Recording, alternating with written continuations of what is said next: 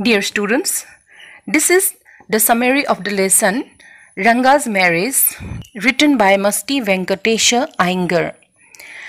This story is a humorous one.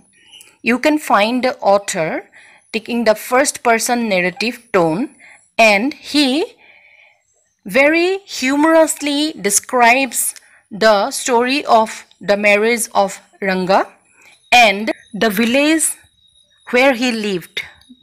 The name of the village was Hosahalli. So, the two main themes running through the story are the arrangement of the love affair or marriage of Ranga and Ratna by this author and very humorous presentation of the condition of his village. These two are the main topics of this story. First of all, we can see the humorous trend running through the whole story. During the first few paragraphs, the author describes why the Hosahalli village was not presented in the map. Because Hosahalli did not come into the notice of the cartographers so the cartographers did not put the name of the village in uh, the map of India. Actually, it is a very humorous presentation. Hosahalli did not have any significant thing, any significant presence in the uh, country uh, because there are not such uh, important things uh, present. That's why it is not put in the map. But author humorously represents this fact uh, in a ironical tone and says that because the cartographers uh, did not take notice of, the, of his village so they did not put in the map. In the second uh, in the second instance we can find the author presenting uh, two important uh, things present in his village. One is the sao mango which uh, generally created um, which um, made people suffer from uh, disease because of its sourness. Uh, again, the second important thing according to the author was the creeper which may be poisonous because of which if you will eat the creeper then you may not need uh, leaves to serve dinner. Uh, it is a very humorous presentation. These two things are totally unimportant but author gave, gives them very much importance and says that these two are so famous that these two are the reasons for which his village uh, should be considered as a very significant place.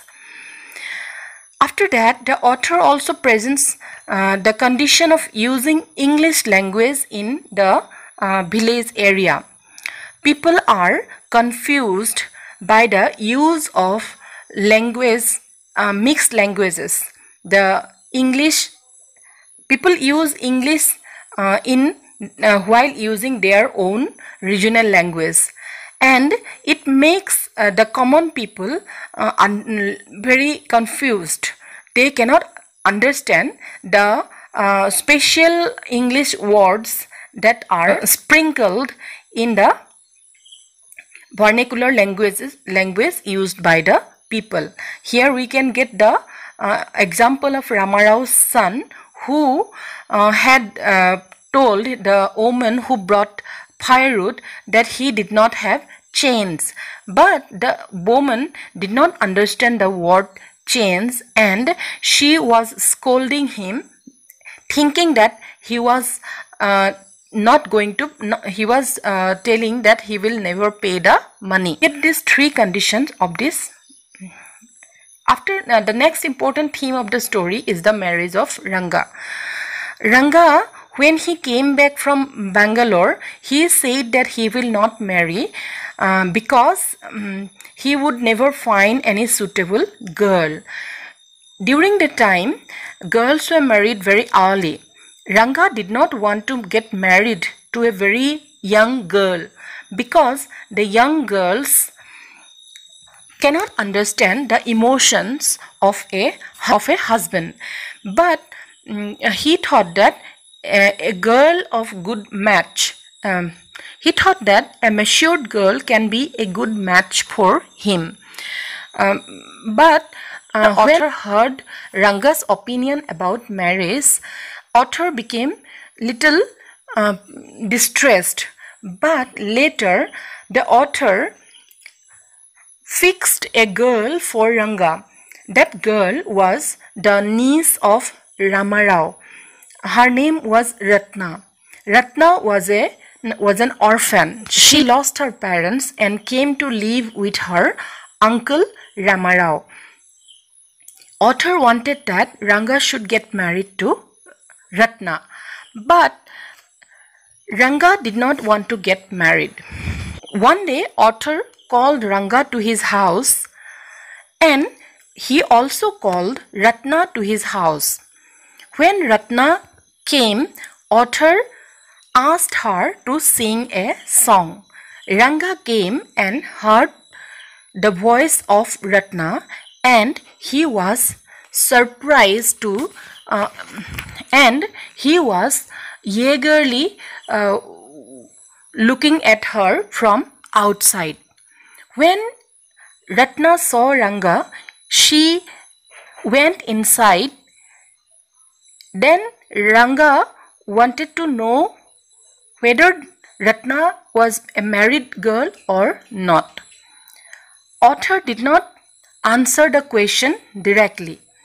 He later told that since Ranga was not having any intention to get married. The author was a married man. They should not have any concern to the matter of the girl being married or not. So, Otter could see Ranga feeling very sad. One day, Otter took Ranga to the astrologer. The astrologer, Shastri, was already taught by the author in order to bring the name of Ratna from any source just to make Ranga believe that even astrology could also understand his intention that he was going to get married to Ratna. Because Ranga would never admit that he was falling in love with Ratna as he already told the author that he was not having any intention to get married to a girl who was not matured. But already he was in love with Ratna. So, the astrologer brings the name of Ratna and then Ranga gives his confirmation that he was falling in love with her. Thus, upon confirmation that Ranga loves Ratna, he decides to set up this marriage. The narrator or the author goes to Ratna's house to ask her hand in marriage for Ranga. Finally, the story fast forwards to 10 years later.